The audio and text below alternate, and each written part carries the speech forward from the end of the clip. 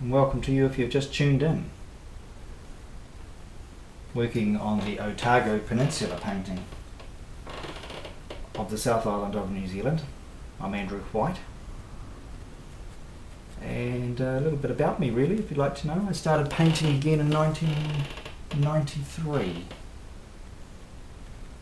After doing art all through high school, decided that I was going to pick up the brushes again give it a blast. Won the Best Landscape Prize in the Mollies, Molly Morpeth Canaday Art Award, which is a esteemed art award in New Zealand here. Mm, 95, I think. Maybe just a couple of years after I started painting, which was a real, real boost. And hair on my brush.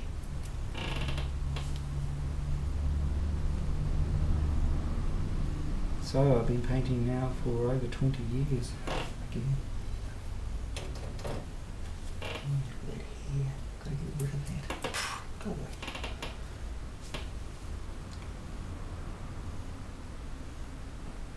I've had six solo exhibitions so far. First one was sponsored by the radio station I worked at called The View from My Back Door. Tacky, huh? And um, then I had another big exhibition of paintings in Whakatane, where I lived. And then I did a beautiful big South Island exhibition, which I adored. Called The South. And then I did an East Coast of the Bay of Plenty exhibition here in Tauranga, at the Bethlehem Gallery. And that was uh, focusing on landscapes from throughout the um, east coast of the Bay of Plenty, which is one of my favourite places to go painting. Which is where I'm heading up to next week.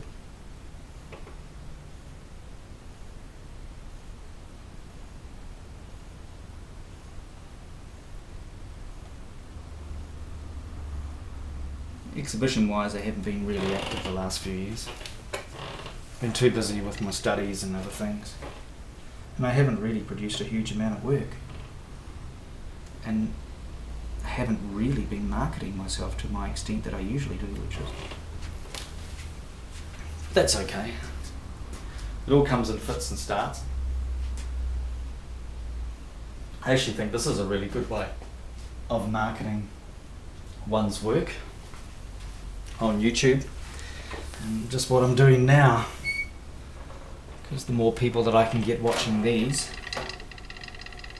the more famous I become as an artist, and I think that's important this day and age.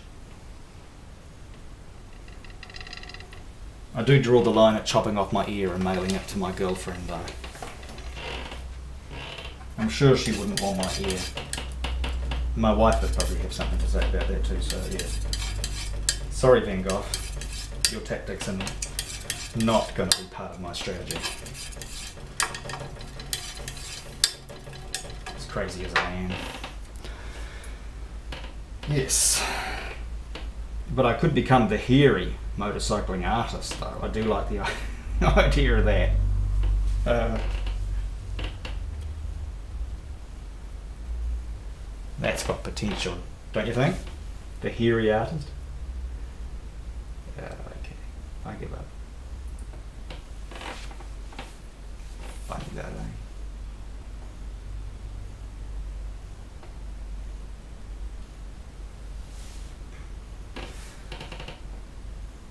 Okay, let's get some more texture going on into this foliage here. There's one thing I love about painting is the texture that you can achieve. And this stuff, when it dries, it dries like nails. So it's not coming off in a hurry.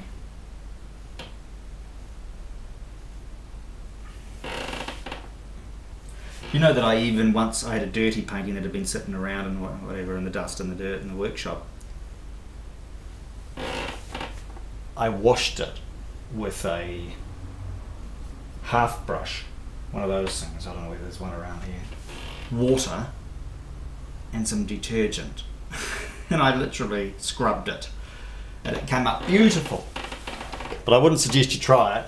But it never damaged my never damaged the painting. But the painting had been varnished though, and that makes a big difference.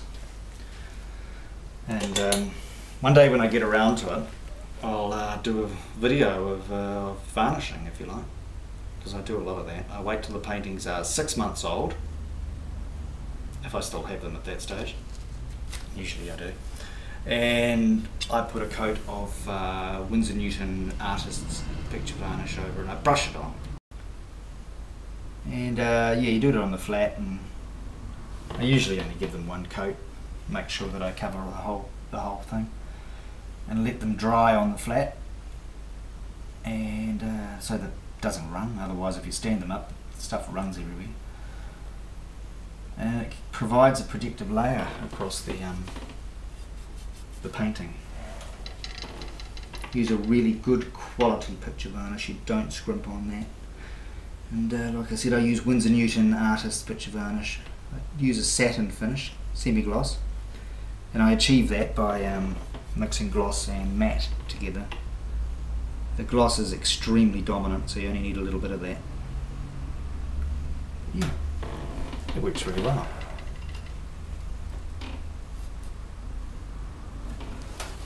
I like where this is headed.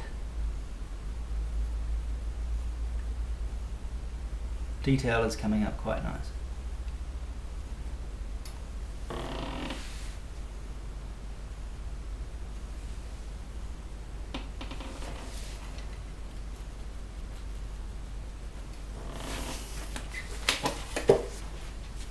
I'm trying to hold my head in a position where this camera on my head can pick up what I'm doing. Mixing this paint through. It's looking good. A bit of a purpley grey colour has come out of that. And I'll put some fat mixed with it. Give it a bit of a stir. There we go.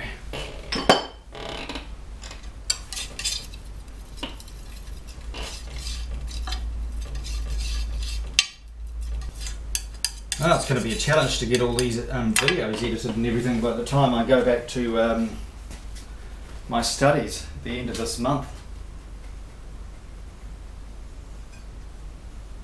And get every, all the other jobs around the house done that I need to do. And, phew, gosh. Go for my trip up the coast and my lovely new motorcycle. Whether you can see that.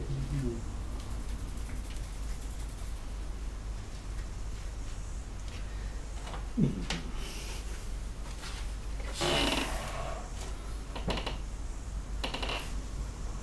the reason I'm doing that is just to bring a little bit of highlight into this hillside down through here. Just want to just pick up on some of these little trees, just some of the texture that's in there.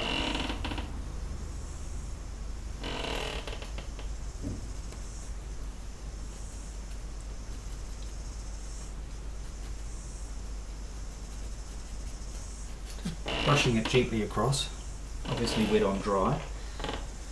If you can see this, You'll notice that all the, if you watch this in HD in particular, I don't know whether your broadband's fast enough to watch this in HD, but if you can, there's a little button on the bottom of the YouTube that sets the quality and you can watch this in HD so it'll be a lot clearer. And the little, the little nicks and on the paint from the underground layers is actually really good at picking up just little tabs of paint onto the onto the, the spines of the paint. I actually really like this technique for, for bringing in highlights.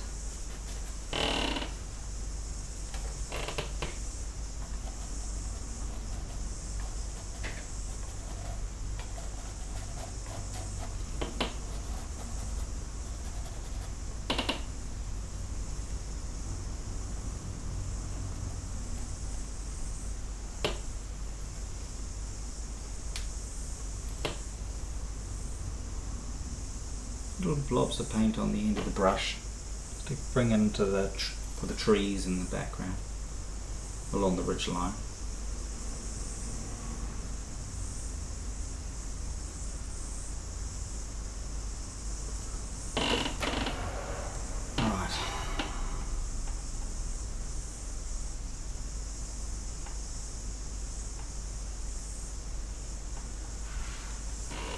That's looking good. I might do as well is bring a little bit of green into it as some of these hills, some of this colour up in here. That's well. Maybe just a little bit more of that.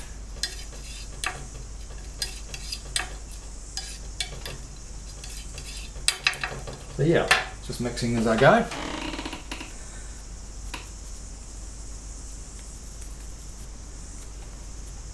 Brush a bit of a wipe off.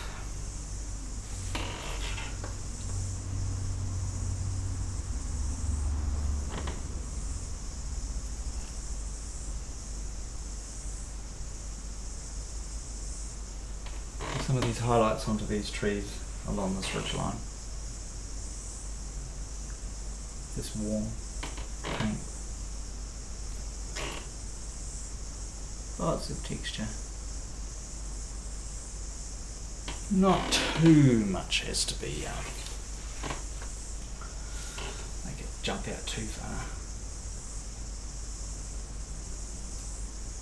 These trees along through here.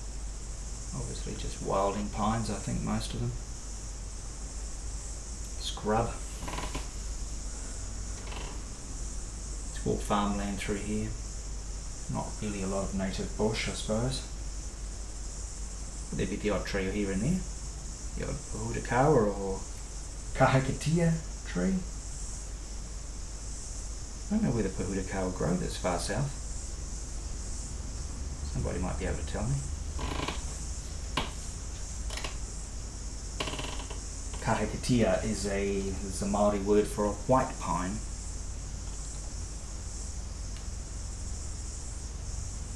Which are very common in New Zealand. We have some of the most amazing trees in the world. Probably one of the most amazing trees is the kauri tree. And the biggest we have in the country, well, well, one of the most popular and most visited is Tane Mahuta, which is up the Northland coast of New Zealand. That's a massive mountain of a tree. It's about 5,000 years old. Beautiful big tree.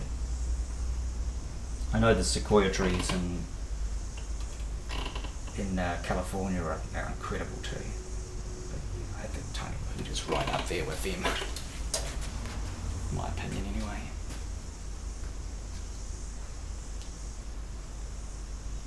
Yeah, I'm, I'm enjoying this. I like where this is going.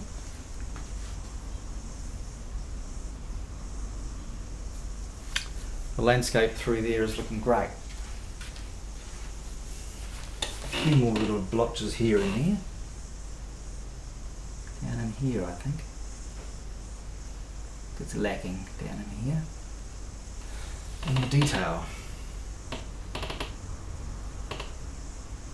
No little tree and shrub down in here, obviously. Don't want to be too many of them.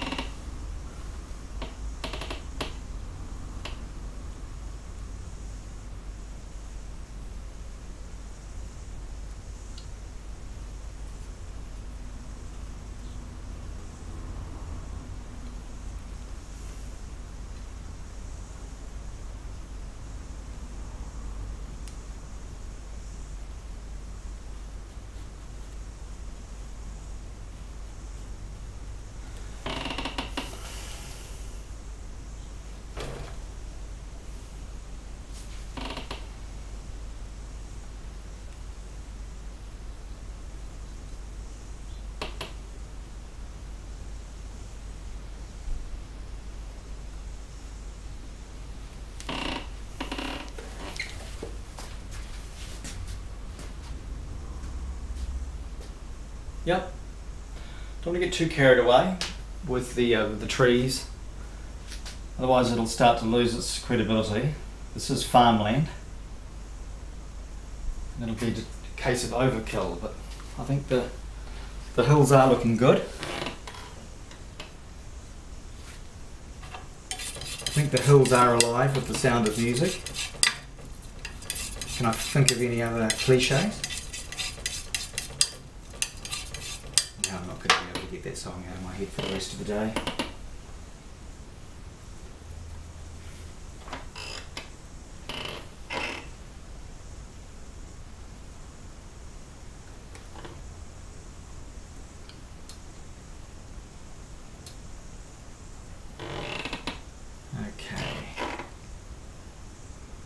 Some more of these trees from this tree line down into here.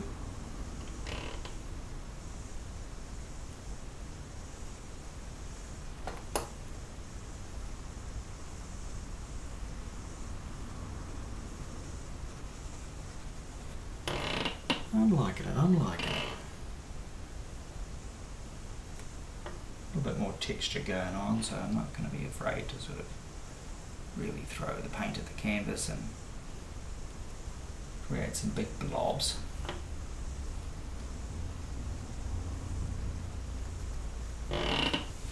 How's that?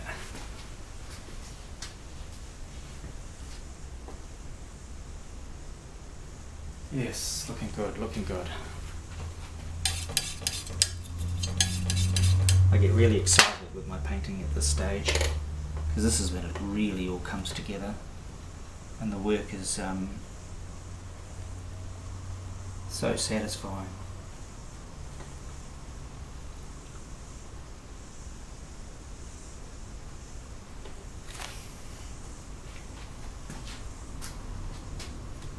In other words, this is when it really gets fun.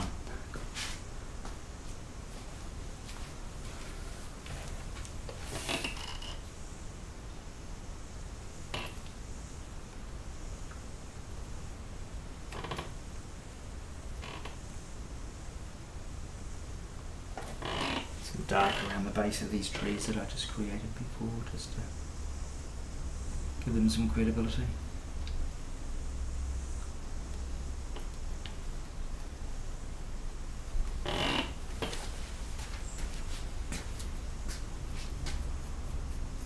Yes.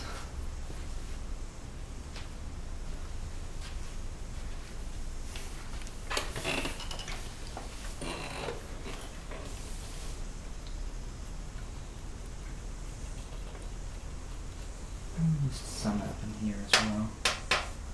Side.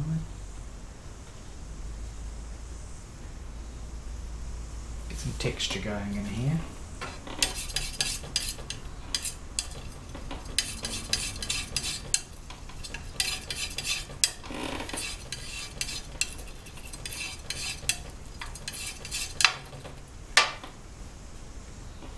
So yeah, there's lots of shades of green that I'm working with.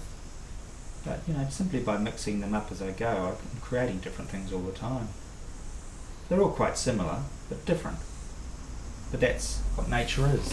There are so many shades of greens and blues and reds in the environment. So, so long as you keep your palette moving and changing, you're not sticking to the same colours all the time. But just remember to work in blocks, like I'm working in a block here with a different shade. Because it's no different than your garden. You notice how your garden looks so much better if you make blocks of colour? And which contrasts with other blocks of colour and, and keeping in harmony. Same thing really. Oh, there's our pussycat. Hello, Piggies. Hello. You come to see me a guest on the show. That's great. What do you want? You want to go outside? Bet you do. Let you out. Come on. Go outside.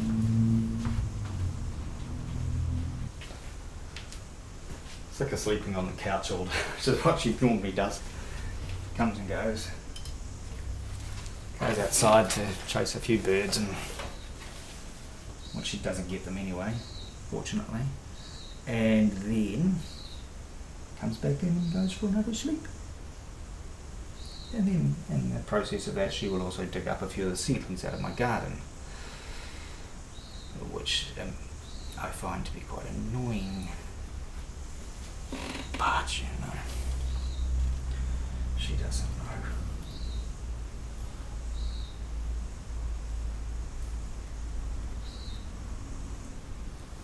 Okay, now I've been fiddling away at this for ages now.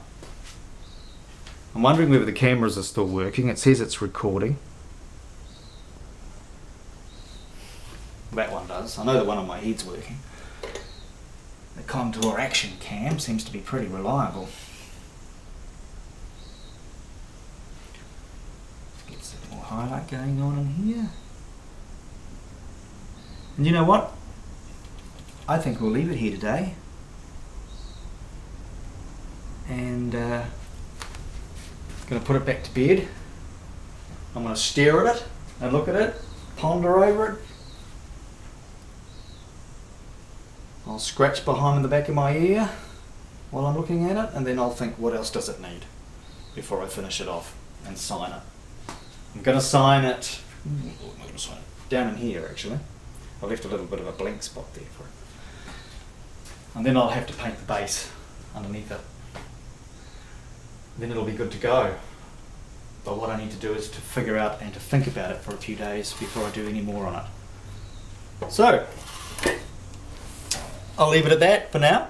Join me for the next one. We'll finish this painting off. I'll take a nice photograph of it in the studio so we get a nice detailed picture of it to show you on the next one. And uh, you'll enjoy that. Enjoy your week. Talk to you soon. Bye for now.